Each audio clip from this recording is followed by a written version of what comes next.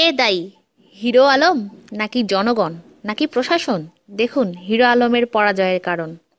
আবারও খবরের শিরোনাম হয়েছেন এই মুহূর্তে বাংলাদেশে আলোচিত এই সেন্সেশন হিরো আলম। ভোটে বাজেভাবে হারার পর দেশবাসী যেমন হতবাক, ঠিক একই সঙ্গে অনেকে তার ফলাফলকে নিয়ে বিভিন্ন ধরনের মন্তব্য ও আলোচনা শুরু করেছেন। সবাই সবার মতো করে হিসাব করছেন ও সমীকরণ মেলার চেষ্টা করছেন। কেউ বলছেন এর জন্য হিরো আলমই দায়ী, কেউ বলছেন জনগণ, অর্থাৎ তার ভোটার দায়ী, আবার কেউ বলছেন নির্বাচন কমিশন দায়ী। কেন এই কথাগুলো হচ্ছে?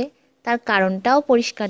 জনগণের মতে, যেহেতু স্বতন্ত্র প্রার্থী হিসেবে নির্বাচনে দাঁড়ানোর জন্য মোট ভোটারের এক পার্সেন্ট সমর্থন লাগে এবং তাদের স্বাক্ষরসহ মনোনয়ন জমা দিতে হয়, সেহেতু তাকে মোট ভোটার তিন লক্ষ বারো হাজার একাশি জনের এক পার্সেন্ট একত্রিশশো বিশ জন ভোটার সমর্থন দিয়েছিল। যদি তা হয়, তাহলে নির্বাচনে সেই সব সমর্থকদের কমপক্ষে হলেও তিন হাজার ভোট পাওয়ার কথা। এছাড়াও সাধারণ জনগণের মাঝে যেসব সমর্থক ছিল, সেই ভোটগুলোও পাওয়ার কথা। সব মিলিয়ে তিনি নির্বাচনে না জিতলেও সবার একটা ধারণা, সে কমপক্ষে দশ থেকে পনেরো হাজার ভোট পাওয়ার কথা।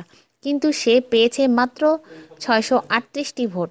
তাহলে সমীকরণ যেটা দাঁড়িয়েছে হয় প্রথম সমীকরণ, সে যে এক পার্সেন্ট ভোটারের সমর্থনের কথা বলেছে, সেটা জাল। দ্বিতীয় সমীকরণ, জনগণ তাকে শুধু মুখে মুখে সমর্থন জানিয়েছেন, কিন্তু ভোট দিয়েছেন অন্যদের, অর্থাৎ গাছে তুলে দিয়ে মই টান দেওয়ার মতো অবস্থা। তৃতীয় বা শেষ সমীকরণ, জনগণ তাকে সমর্থন দিয়েছেন, কিন্তু ভোট দিতে পারেননি।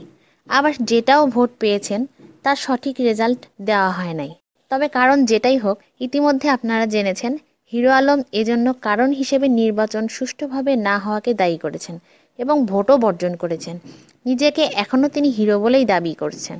তাহলে দর্শক, এই মুহূর্তে এই ছিল হিরো আলম সম্পর্কে সর্বশেষ আপডেট। দেখা যাক, এরপর তিনি আমাদের জন্য কি চমক নিয়ে আসছেন। পরবর্তী খবরের জন্য আমাদের সঙ্গেই থাকুন। আর আমাদের চ্যানেল সাবস্ক্রাইব করতে ভুলবেন না। আশা করি আমাদের সঙ্গেই থাকবেন.